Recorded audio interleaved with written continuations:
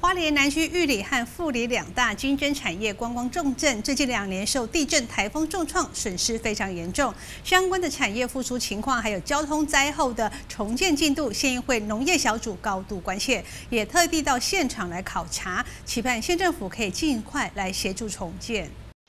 才刚从零九一八强震灾害中站起来，花莲南区玉里以及富里两大竞争产业观光，这一次接二连三台风重创，又再度面临严苛的考验。县议会农政小组高度关注，今天特别由总招邱光明、二招哈尼嘎造与小组成员专程来到县地考察。你说那个？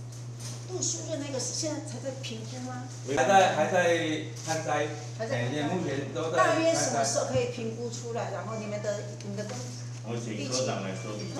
如果按照目前所记的检测，杜书在台风，它现在中央还没有开会，因为两个太近，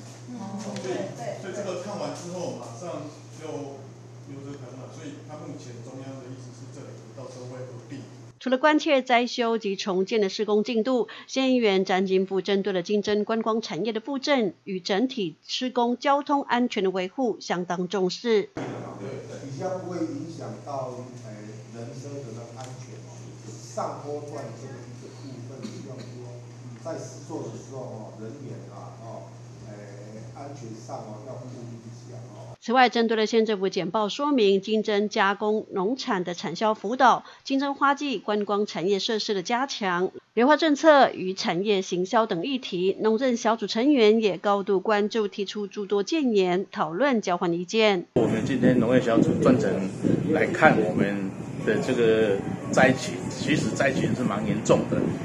修修复的时间可能要蛮蛮长的。那我们小组，我们农业小组会一直。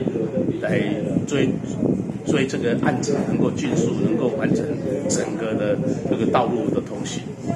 花莲南区玉里赤科山与富里乡六十担山金针农产与花季产业观光，为花莲重要的农业观光重镇。但近两年来，接连遭受地震、台风的侵袭破坏，仍能勇敢站起来。县议会农政小组也期盼县政府能尽速协助重建，让南花莲的竞争产业观光能如浴火凤凰般再现风华。记者石玉兰、助理采访报道。